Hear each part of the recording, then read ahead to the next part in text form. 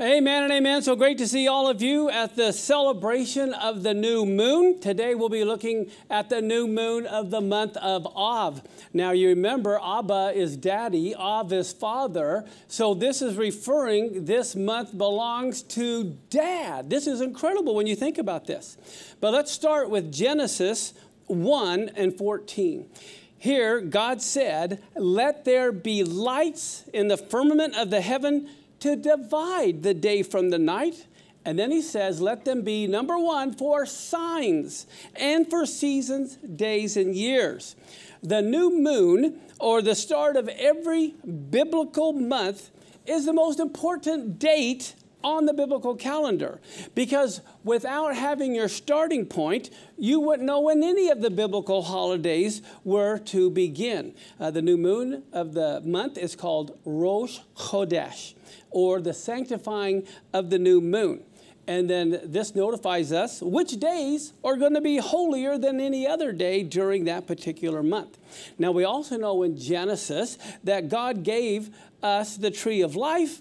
And in the tree of life, there, on the tree of life, there were all these different fruits. It's incredible. Listen to Genesis 2 9.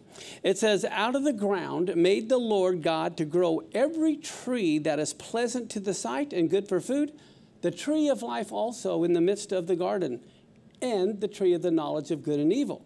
Now, if we jump from the beginning to the end in the book of Revelation, look at chapter 22, verse 1 and 2.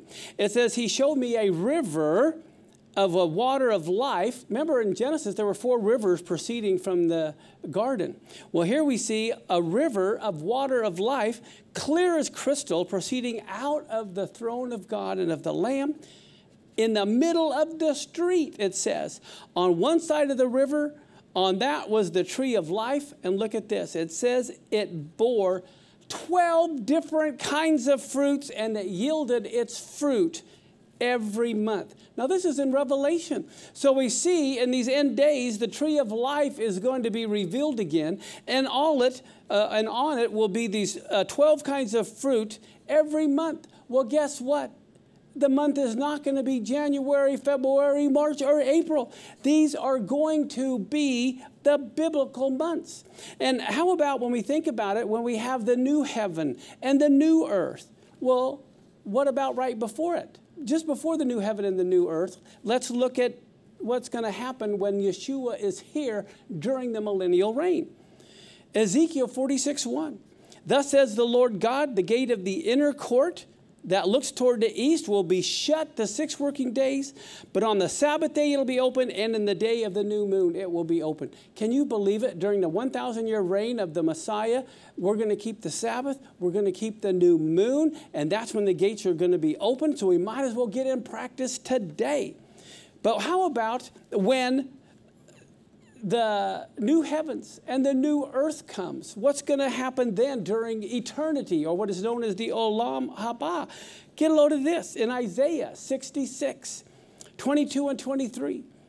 It says, As the new heavens and the new earth, which I will make, shall remain before me, says the Lord, so Israel or David shall your seed and your name remain. And it'll happen from one new moon to another, from one Sabbath to another, all flesh will come to worship before me, says the Lord. Wow, even after the thousand year millennial reign, with the new heaven, the new earth, the heavenly Jerusalem's come down, guess what? We're still going to be keeping the new moon for eternity. Why would we not want to start now and get in practice to understand what's coming? Same thing with the Sabbath. Now, let's look at Psalms 104, 19 through 21. God, right here, He made the moon, He says, to mark the seasons, and the sun knows His going down. The psalmist says, God, you make darkness, and it is night, wherein all the beasts of the forest they're creeping forth. The young lions are roaring after their prey, and they seek their meat from God. Wow, this is so important to understand the purpose of the moon. Listen to Psalm 81, 3 and 4. It says, Blow the horn at the new moon and at the full moon for our feast day, for it is a statute for Israel and ordinance of the God of Jacob. They're supposed to blow the shofar on the new moon, the first of every month, but also on the 15th of like Passover, like the Feast of Sukkot. So we're going to take a moment and we're going to do what the Bible says and blow the shofar.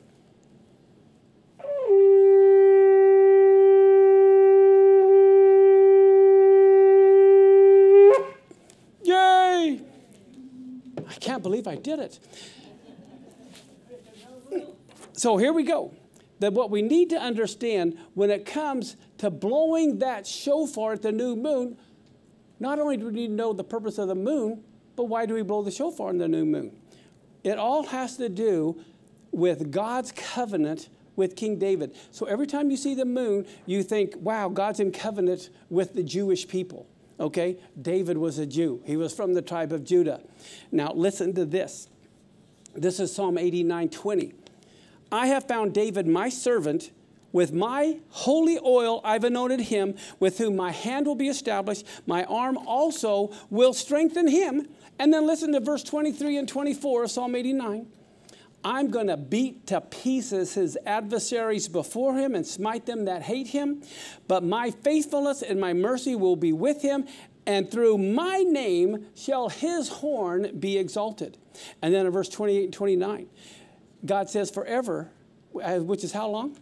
Forever, I will keep my I will keep for him my mercy, and my covenant will stand fast with him. His seed also will I make to endure forever, and his throne as the days of heaven. Wow. Look at verses 33 through 37.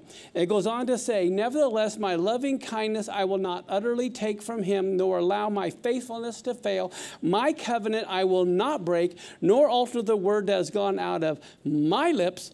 Once I've sworn by my holiness, I will not lie to David. His seed will endure forever. His throne is the sun before me. It will be established forever like the moon, even like the faithful witness in the sky. The moon is God's faithful witness in the sky. David was from the tribe of Judah. He is Jewish. His seed is Jewish. God is saying he will never break his covenant with the Jewish people as long as the heavens remain. And we studied uh, in this last week's Torah portion of Matot and Masai how we have to keep any oath, any vow, the words that come out of our mouth. And we know God does not lie. He made this oath and covenant to David, so the Jewish people will be here forever. You better get used to it. Okay, Look at Jeremiah 33 25 and 26. Thus says the Lord, if my covenant is not with day and night, and if I've not appointed the ordinance of heaven and earth, then I will cast away the descendants of David or Jacob and David my servant. So guess what? It doesn't matter what the Jewish people have done. God will never replace them. Okay? Uh, as long as the heaven and earth is here, well, guess what? God's the one who appointed them. So that means he's never going to cast off the Jewish people. Now, in Exodus 12 2, God tells Moses concerning the first of Nisan, the first month, that this month will be the beginning of months and it'll be the first month of the year to you. So he was speaking to Israel. So only Israel uh, had the opportunity to join God in sanctifying the new moon. And when it comes to sanctification, who makes us holy to God? Do we make ourselves holy to God or does God make us holy? God makes us holy. Our job is to maintain that holiness. Look at uh, Leviticus 27 through 8. Consecrate yourselves, therefore, and be holy, for I am the Lord your God, and you shall keep my statutes and perform them. I am the Lord who sanctifies you. Okay? And uh, in Leviticus 20, verse 26, God says, You shall be holy to me, for I, the Lord, am holy, and I'm the one who separated you from all the nations, that you should be mine. And then we see we're to maintain that holiness in Leviticus 18:30, where it says, "Therefore shall you keep my charge that you do not do any of these abominable customs which were done before you, and don't defile yourselves. I am the Lord your God." With that said, let's stand and let's say together uh, the prayer for the sanctification of the new moon. Together, may it be thy will, Lord our God and God of our fathers, that you begin for us this month for good and for blessing. May you give to us long life, a life of peace a life of goodness, a life of blessing, a life of substance, a life of physical health, a life in which there is fear of heaven and fear of sin, a life in which there is no shame or humiliation, a life of wealth and honor, a life in which we love Torah and fear God, a life in which the Lord fulfills the requests of our hearts for good.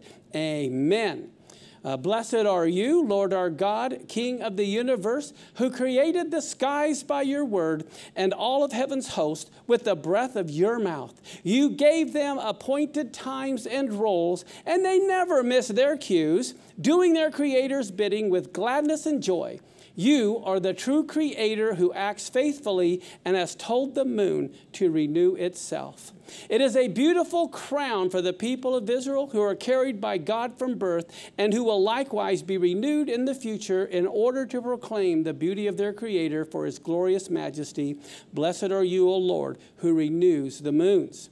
Blessed are you, O Lord our God, King of the universe, who has sanctified us by your commandments and commanded us to be a light to the nations and has given us Yeshua, our Messiah, the light of the world. Amen.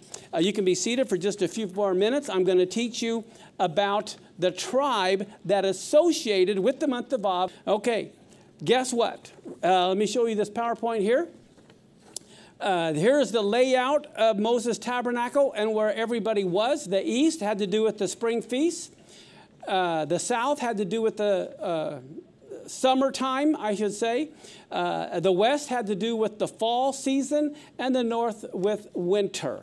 Okay, and the season of spring is on the east. Well, this is, we're about to enter the fifth month.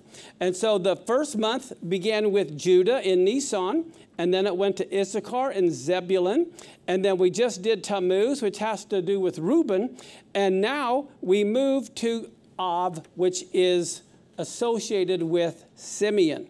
Now, one of the things is uh, Simeon the, comes the word Shema, Shimon. And so we see this month, while last month was all about vision, this month it's all about hearing, but it's actually more than just hearing, it's listening. How many of you know there's a difference between hearing and listening? Okay? I heard you, I heard you, yeah, but you weren't listening. Okay? So we need to understand this is also about really listening. Listen to Isaiah 11, 1 through 3. Uh, and before I go there, again, Av has to do with father. And guess what? This is a month where they refuse to hear. And so here, this month is all about hearing, but more it's about a refusal to hear what Father is saying. And so we find in Isaiah 11, 1 through 3, the vision of Isaiah, which he saw concerning Judah and Jerusalem in the days of the kings of Judah. He says, Hear, look at this, hear, O heavens, give ear, O earth, for the Lord has spoken. Remember, it's in the mouth of two or three witnesses. And, and, God is calling on two witnesses, the heaven and the earth, and He's asking both of them to hear what the Lord has spoken. And listen to what He says I've nursed and brought up children. And they've rebelled against me. The ox knows his owner, the ass his master's crib, but Israel does not know. My people do not consider. Wow, here this says that God, as Father, his children rebel against him and they refuse to hear. So look at Psalm 103. This is verse 13 through 18. It says, Just as a father has compassion on his children, so has the Lord compassion on those who fear him. He knows our frame, he remembers we're just dirt. As for man, his days are as grass, as a flower of the field, so he flourishes. The wind passes over it and it is gone, and the place thereof knows it no more. But the mercy of the Lord is from everlasting to everlasting upon them that fear him, and his righteousness unto children's children, to those who keep his covenant and to those who remember his precepts to do them. So God's mercy is not shown to those who know the commandments, but to those who keep the commandments. Now, why is the term father, a name symbolizing mercy given to a month full of tragedy and destruction. Well, the first half is mired in sadness as we go through the dire straits, But come the 15th of Av or Tu B'Av, there is an explosion of happiness in the middle of this month. Well, let's take a, a look at this. Did you know there's like seven Sabbaths following the 15th of Av that are known as the Sabbaths of comfort because while the father spanks and disciplines his kids the first half of the month, the last half of the month he's comforting his kids and letting them know he loves them. Now, what brought about the tragedies that happened in the month of Av? Well, this was, the, was on the 9th of Av that the spies brought the bad report. Also, the temple was destroyed twice on the very same day. It was on the 9th of Av. Nebuchadnezzar destroyed the temple around 586, 87 BC. And then in 70 AD, again, Rome destroys the temple on the very same day. Later in history, in 1290, all the Jews were expelled from England on the 9th of Av. And then all the Jews were expelled from Spain in 1492 on the 9th of Av. So a lot of horrible things happened in this month, a lot of grief. But let's look at Numbers 33, 38. What else happened in the month of Av? we find out that Aaron the priest went up into Mount Hor at the commandment of the Lord, and he dies there in the 40th year after the children of Israel came out of Egypt, in the fifth month, on the first day of the month. So here we find on the first of Ab is the anniversary of Aaron's death. Okay, now, there was only did you know there was only tribe, one tribe who was not blessed by Moses? When you go to Deuteronomy 33, right before Moses dies, he blesses all the tribes. There's one tribe he has no word. He doesn't bless. And it's the tribe of Simeon. As a matter of fact, Simeon also, you will, when you look at the tribal allotment in the land of Israel, Simeon got no land at all, zero, which is why he wasn't blessed. Uh, he was incorporated within the land of Judah, uh, which is also important for those who think the uh, the 10 lost tribes involved Simeon. Uh, no, it didn't because Simeon was within the land of Judah, but that's another story. Uh, also, if you remember, it was Simeon. He personally was the one who threw Joseph into the pit. And this is why he was the one who was held hostage by Joseph.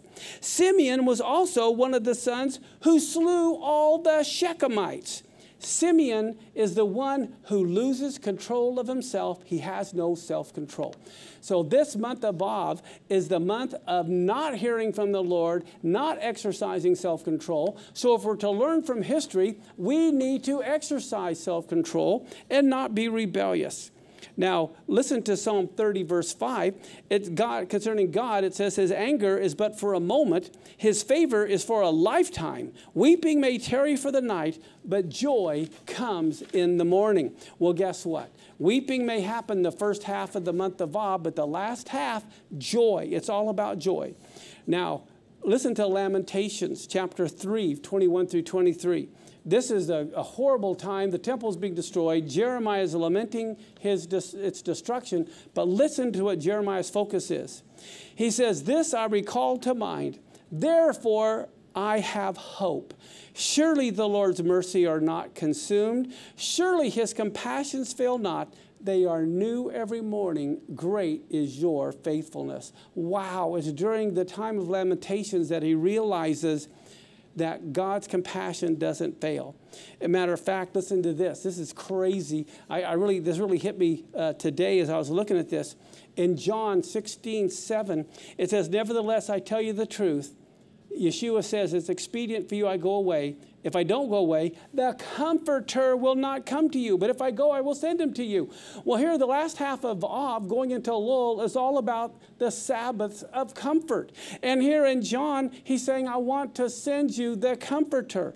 Well, get a load of this in Genesis chapter 8, verse 3 it talks about how the waters decrease continually until the 10th month. And in the 10th month, on the first day of the month, see how important first days of the month are, the tops of the mountains were seen. Okay, let's wait a minute now. We do when we say the 10th month in Genesis, this is before God changed the calendar. So Tishri 1 is the first day of the first month in Genesis, okay? Nisan 1 is the first day of the first month from Exodus on. So in Genesis, when it says it was the first day of the 10th month, you count from Tishri. And you find that the first day of that first, uh, it says until the 10th month, on the first day of the month, the first day of the 10th month was the first of Tammuz okay, when you go around the calendar. So we see on the first of Tammuz were the tops of the mountains seen. And then it says, It came to pass at the end of 40 days that Noah opened the window of the ark which he had made, and he sent a raven, and it went to and fro until the waters were dried up from off the earth. And he sent forth what? A dove. Okay, so if you go 40 days from the first of Tammuz, this is going to take you to like the 11th of Av. Oh my goodness, the Comforter comes right after the dire straits has ended. This is when the dove, who we know from the New Testament, is the comforter. And so I think it's amazing when you put Genesis on the right calendar, you see that he sends forth the dove on the 11th of Av. And you continue reading, he waits another seven days and he sends forth the dove again. So on the 18th of Av, he sends forth the dove. And then you see he waits another seven days and sends forth the dove. That's the 25th of Av. So the same three weeks the Comforter is sent is known as the Sabbath of Comforts in the same time frame of the month of Av. This is incredible.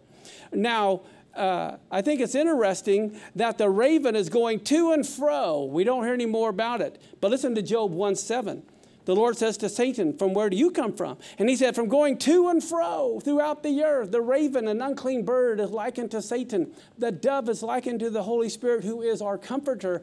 And we see the last half of Av is a time of great joy because that's when we can look for the comforter to be comforting us. Matter of fact, Revelation 18 2 talks about Babylon, the greatest fallen, has become the habitation of devils, the hold of every foul spirit, and a cage for every unclean and hateful bird. That's the raven. Okay. And the raven is circling the earth, waiting for the corpses to rise, you know, to be washed up on shore. All right. I think it's interesting in Matthew 13, 16, Yeshua, when he was immersed, went up directly from the water. The heavens are open, and he, what does he do? He sees the Spirit of God descending as a dove and coming upon him. And Noah is basically comfort or rest. His very name is comfort or rest. And we find it was in the month of Av when the Father comforts that that's what it's all about. It's amazing. As a matter of fact, in Isaiah 66, 1 and 2, the Lord said, Heaven is my throne, earth is my footstool. Where is the house you built to me? Where is the place of my rest? Because I'm the one who made everything, says the Lord. But guess what? The Lord says, It's to this man I will look, to him that is a poor and of a contrite spirit and trembles at my word. That's where his place, he want, we want him to rest in us. And I think it's interesting in Genesis 8, uh, 10 and 11, when he sent forth the dove, it says it returned in the evening and there was an olive leaf plucked off. Well, guess what? That olive branch refers to the Messiah. That's who it refers to. They say that he found the dove was in Israel when he brought back the olive branch, which is why in Isaiah 11 and 1, there shall come forth a rod out of the stem of Jesse, and a branch shall grow out of his roots. And so the olive branch represented the Messiah that brought comfort to Noah, and the leaf represents new life after judgment, uh, just like the tree of life after judgment is brought back. So, with that said, we'll close this teaching. Uh, I'll say the priestly blessing, and may you, this month, the month of hearing, may you not refuse to hear, but may you hear what the Lord is speaking to you. Adonai Ya'er Adonai panavileka vichuneka. Isa Adonai panavilecha v'yasem laka shalom. The Lord bless you and keep you. The Lord make his face shine upon you and be gracious to you. The Lord lift up his countenance upon you and give you peace. In that great name, Ayeh, Asher, Ayeh. Go and be blessed. Amen.